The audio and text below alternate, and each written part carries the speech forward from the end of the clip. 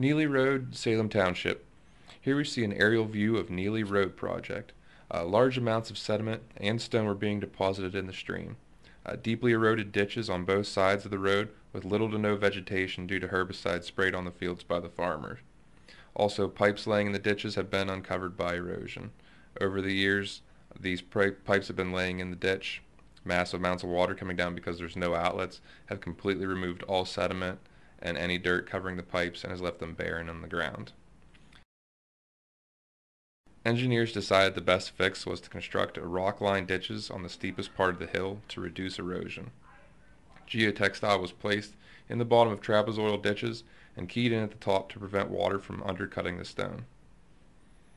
Salem also regraded the banks to direct water into the ditches and ensure that everything goes into our system.